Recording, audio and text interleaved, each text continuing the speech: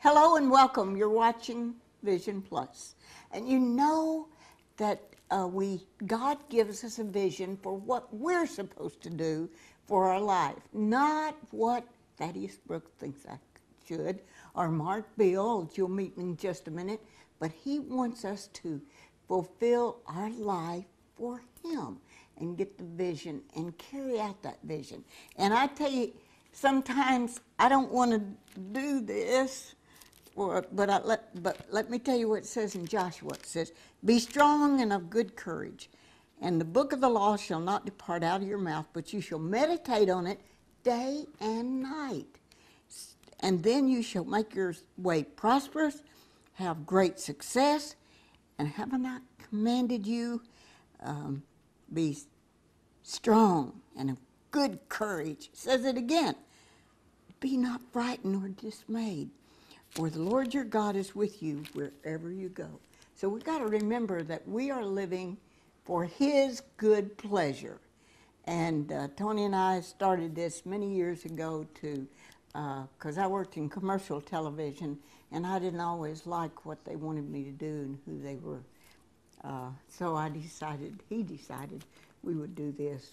So we'd like to hear from you. We're going to talk about relationships today.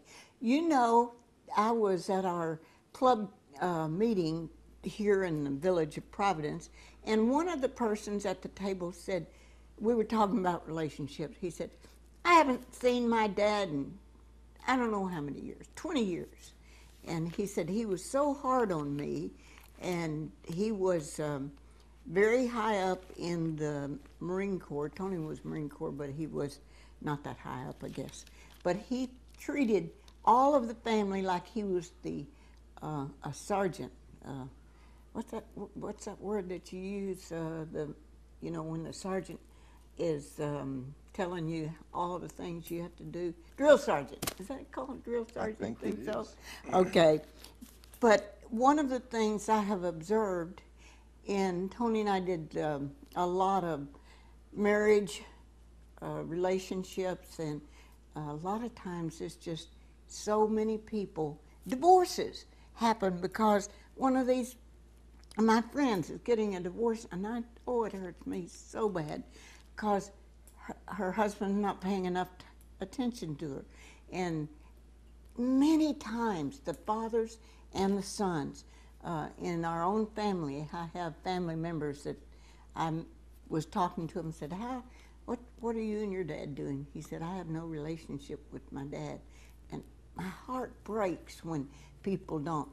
But here is a person, Mark Behel, and Mark uh, was one of my teachers in Sunday school and then he moved into the took over the spiritually single. I think I need to go back to that class.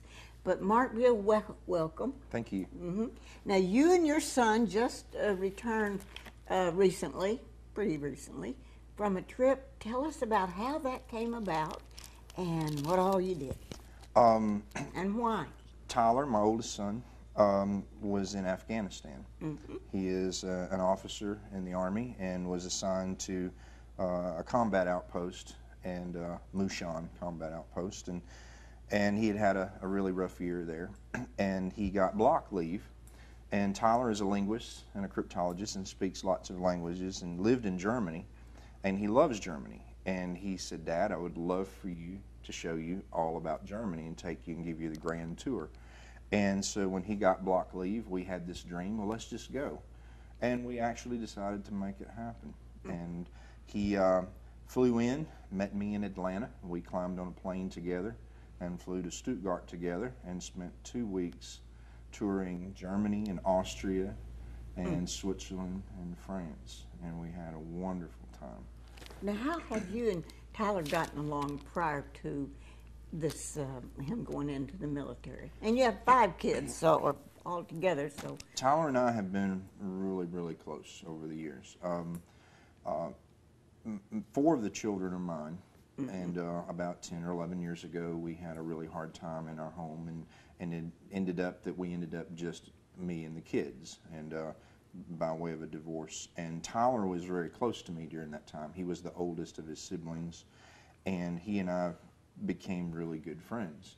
Um, he'd had a, a, a great experience in college, finding himself struggling, and finally came to terms with who he was. And um, and he's always been very close to me. He's got a seriously big heart, and he's compassionate and worries about his brothers and sisters. He just cares more for other people than he does himself, and that made me very proud. So we've always been close. We've always depended on each other, and um, and so we we always talk.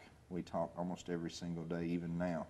Uh, he lives in Alaska, and not a day goes by that we're not on the phone talking to each other. So um, we've just always been really close. What part of Alaska? is he? He lives in Fairbanks right now, Oh my goodness! and I have a nephew that lives there. That kind of cold. It's very cold. Um, he and his wife are there, and they attend church at Northern Lights Church of Christ there. I tell you what, Northern Lights are one thing to see. Is uh, we were there. I spoke in um, Anchorage, and we took the train north, uh, north to Alaska. Anyway, we took the train north and stayed at a resort two two houses from Sarah Palin's house, right on the water, and it was just the Lord I know, because the the aurora borealis came right in. It felt like it was at the window, like you could just see it, like it was right there at the window. All the colors, the beautiful aqua, the colors of this this, this, and then it would fade into colors of orange and red. So that he he's got a beautiful place to see. he does. He does. What is he doing there? he is still in the military.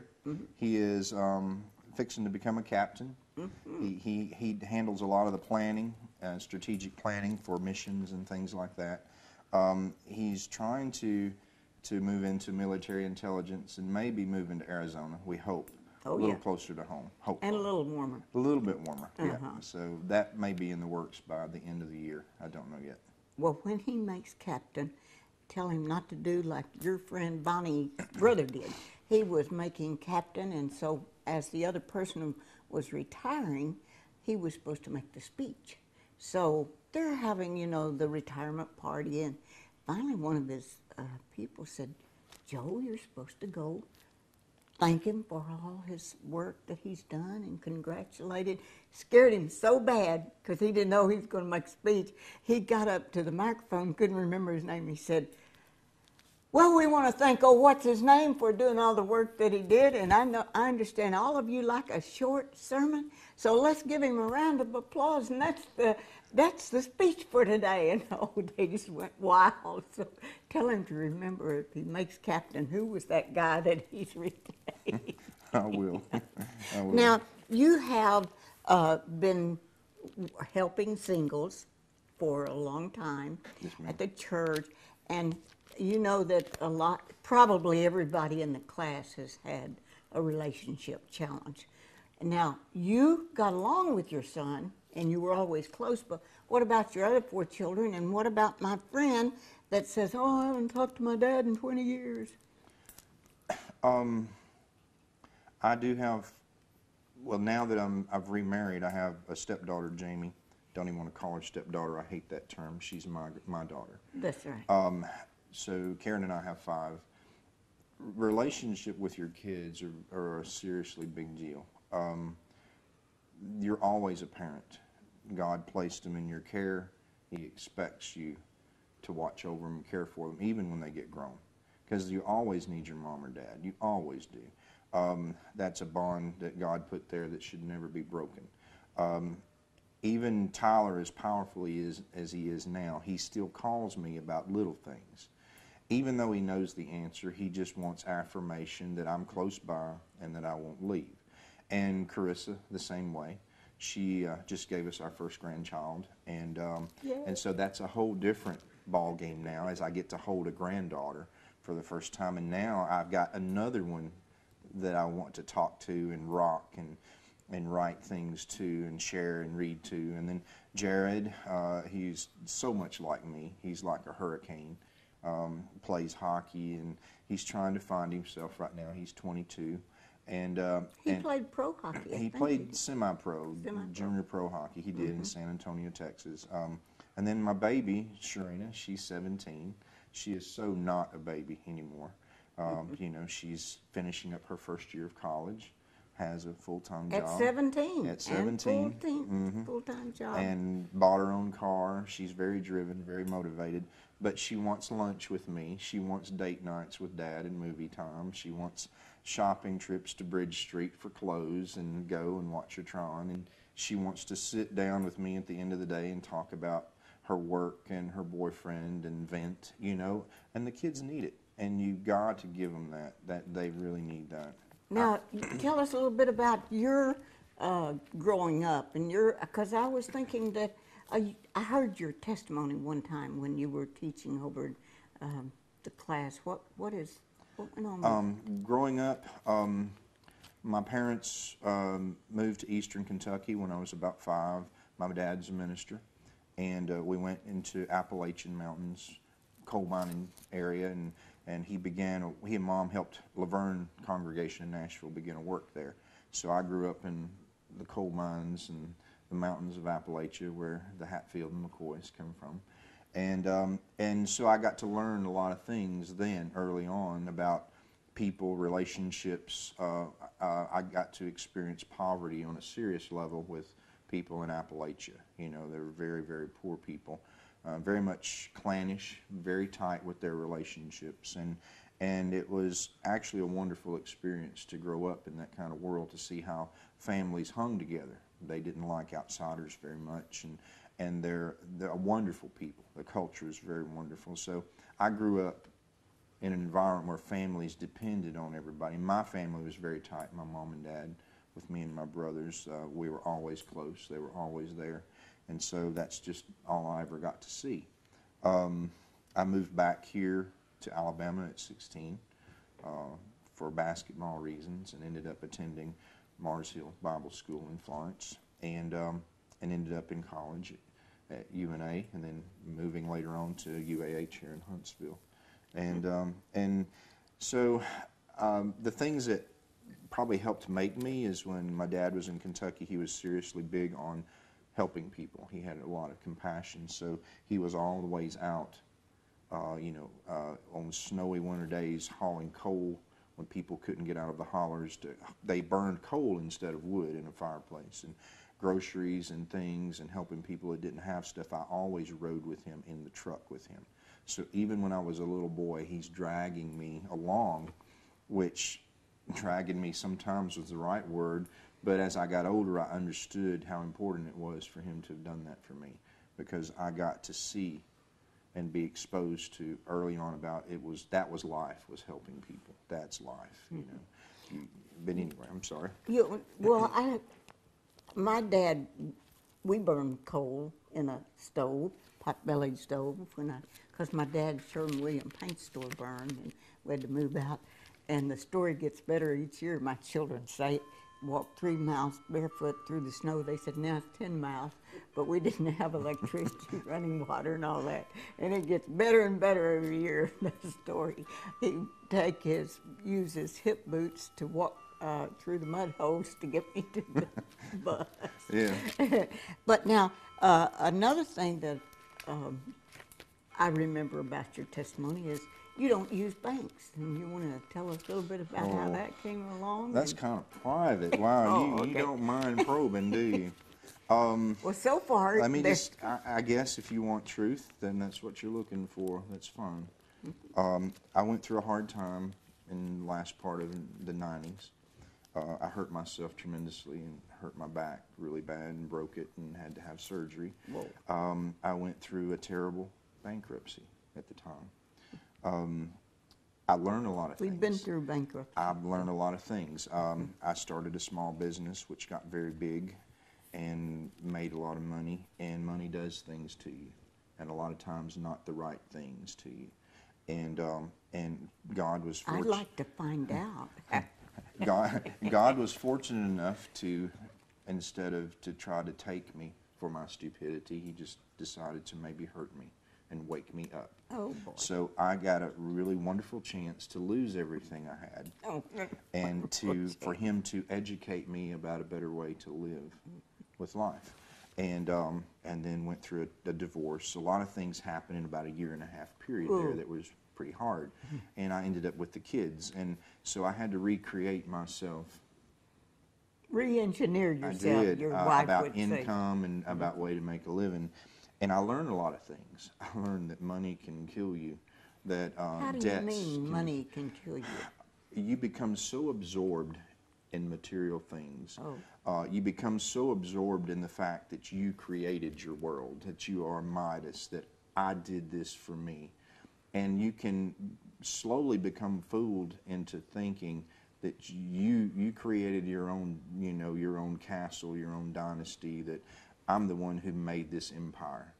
And that's so not true.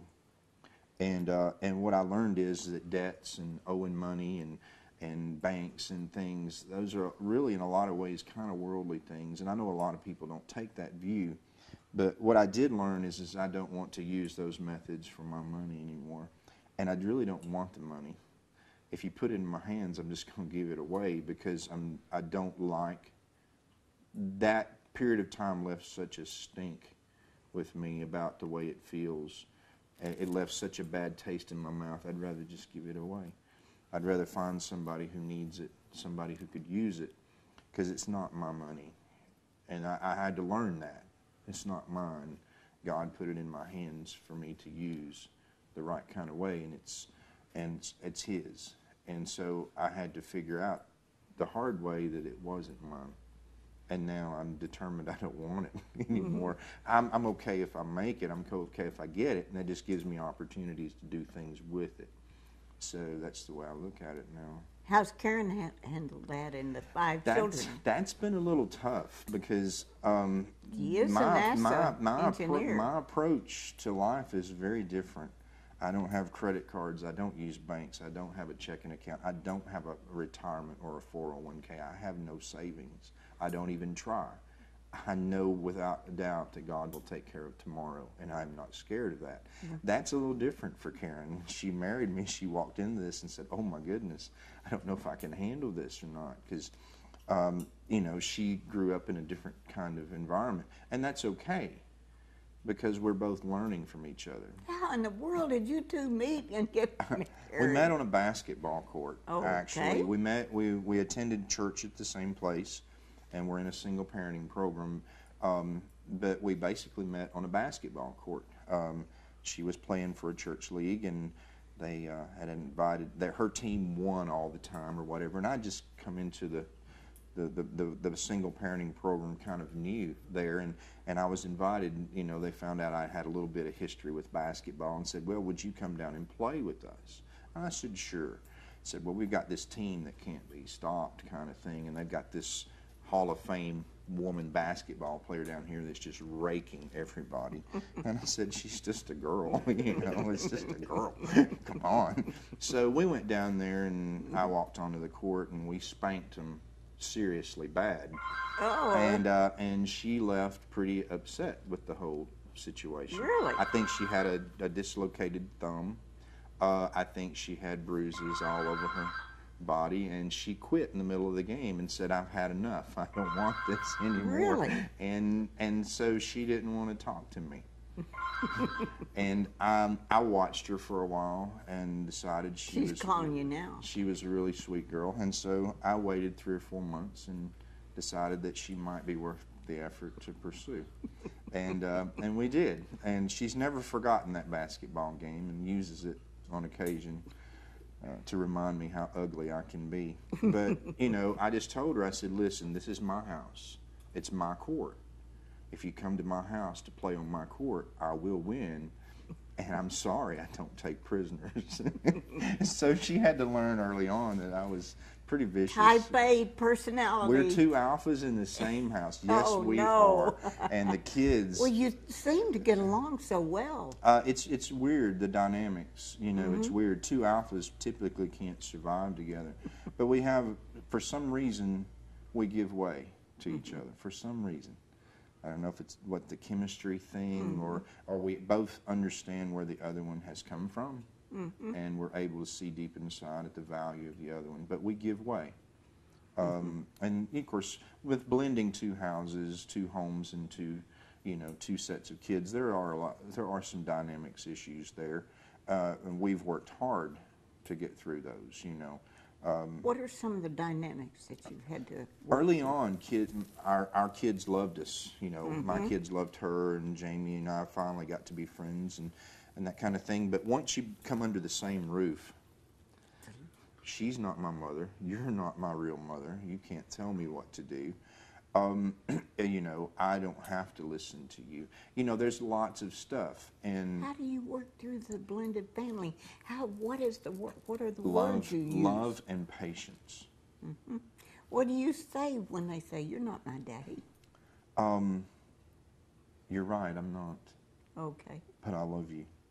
I'm here. I'm here for the long haul. I will not leave you. I'm not going to push you. I will give you your space to sort it out.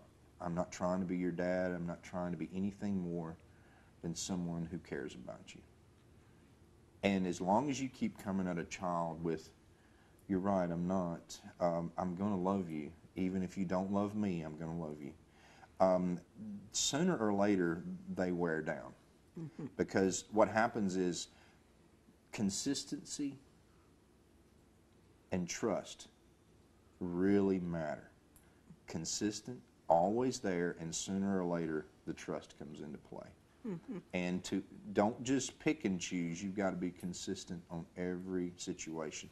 And when my kids would come at Karen, I would tell her, you know, I'm not going to defend you here. You need to defend yourself. You need to stand your ground with them. Because if you do, then they will learn to respect you. If I defend you every single time, then they're not going to learn to respect you. Stand up to them, get in their face, tell them you love them, and tell them you're not going anywhere and you're not going to be run off. And that's the thing. You have to they have to see that you're not going to run off. And I think that's the bottom line when they push both sets push you. You know, they've been abandoned once before. They're really pushing to see if you're going to if you've got what it takes to stay, if you're the one that can take it this time and stay. And I think they're really they're really trying to test you And they are terrified. they're scared. mhm, you they're know, scared. Um, you know, the worst thing you can do to a child is take away their stability, Mm-hmm. their home stability. You know, if dad gets scared, you know, kids are fine in the house as long as dad's riding high and dad's strong and and dad's stable. Kids are fine. Now they'll make their mistakes, but you let a parent become unstable and a parent becomes scared and a parent really not know which way is up, and the whole house goes nuts. They Do can't you have any that. suggestions for my friend that uh, he said that he and his dad have not talked? Get you had any of your people Go get, go find him. go find him? Doesn't matter. If you haven't had a history with him, then stop worrying about the fact you haven't had a history. Go create a history. Just go to him, find him, and sit down and say, hey, let's put it on the table. You're my mm-hmm. dad. I miss you. You know, I think the, the best things you can do for relationships is to be honest and vulnerable. Allow yourself to be vulnerable. Allow people to see that you be open enough to, to put your stuff on the table and say, Dad, I haven't been a good son. Dad, this is not what we were meant to be. You know, you know, we, and don't approach him with the things he's done wrong. Don't even go there. Dad, I don't want the years we've had to continue. I want something better with me and you. And just go tell him. I mean, every day he misses is a day lost. You know, Do, do you think you could help a girl that hasn't uh, seen her mother in years and doesn't have a relationship? Go to her. It's that simple. Stop wallowing in it. Stop sitting here fretting over it. Do something about it. I mean, I, I run into people all day long. They're in tears and they're hurting.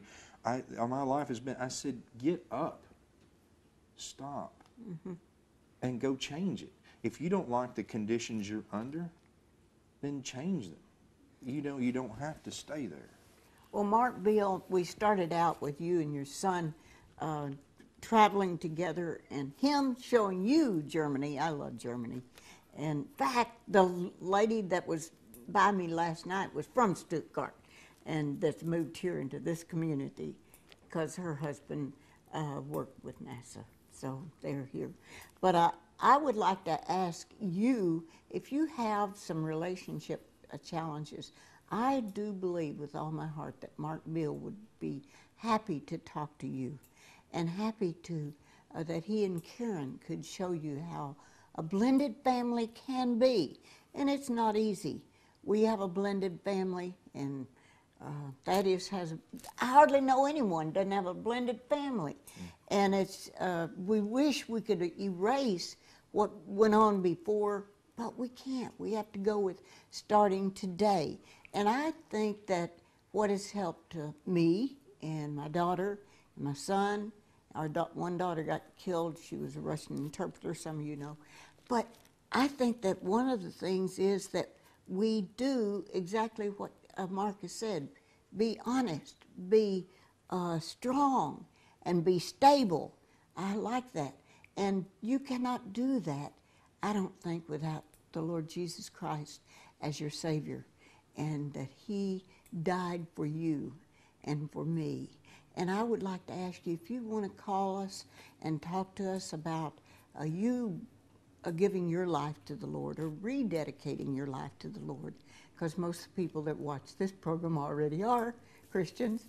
But sometimes uh, I get a call and they're just telling me how wonderful it is. So, Mark Behel, thank you very much You're for very sharing welcome. your really enjoyed it. anything that you can say that uh, would help in the last minute of the time Um, re- relationship. what you just touched on, nothing can be accomplished without a really strong faith and belief in God. Nothing.